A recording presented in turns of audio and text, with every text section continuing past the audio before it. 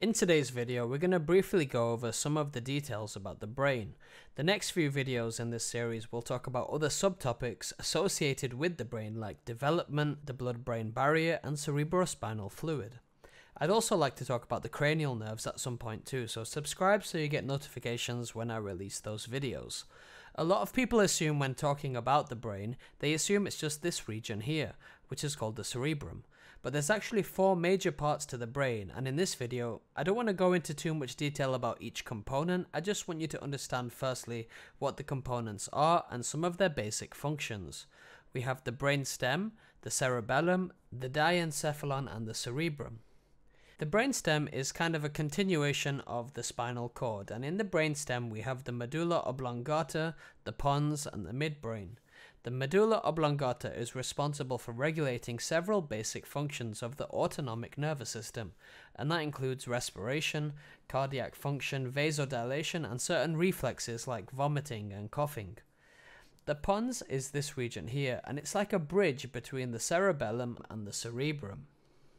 And the pons is in fact where four cranial nerves originate, those cranial nerves are the trigeminal nerve, the abducens nerve, the facial nerve, and the vestibulocochlear nerve. And then the final part to the brainstem is the midbrain, and this is the most superior portion of the brainstem, and it's divided into two parts, the tectum and the paired cerebral peduncles. Behind the brainstem is the cerebellum. Now the cerebellum, which is actually Latin for the little brain, is a major structure of the hindbrain that is located near the brain stem. This part of the brain is responsible for coordinating voluntary movements and it's also responsible for, for various functions like balance, coordination, and posture. The diencephalon is another component of the brain and, and it's mostly hidden from the view when you're looking kind of from an outside view. Uh, you can divide the diencephalon into four parts. We have the epithalamus, the thalamus, the subthalamus, and the hypothalamus. And it's hard to describe the exact function of the diencephalon because of these four substructures, but they all have different functions. I'll touch on it very briefly now, but a separate video will be made to cover this in more detail. The epithalamus of the diencephalon contains the pineal gland, which releases melatonin to help with circadian rhythm or your sleeping pattern. The subthalamus contains nuclei and grey matter like the zona incerta, reticular nucleus, and the perigeniculate nucleus.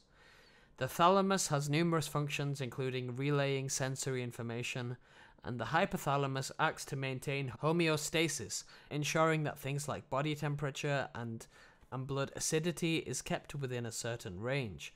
It does so by regulating the release of certain hormones. Finally, we have the cerebrum, which is also known as the telencephalon, and this is the largest part of the brain and contains the cerebral cortex. The cerebrum consists of left and right hemispheres which are joined together by a structure called corpus callosum.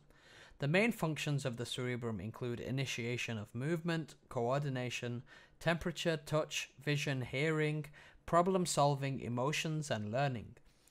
And that's just to name a few. The cerebral cortex is further classified into four lobes, and they include the frontal lobe, parietal lobe, temporal lobe, and the occipital lobe. I'll be making some more videos on the brain and I'll be breaking down each of these structures, so make sure you subscribe and keep a lookout for those videos to come.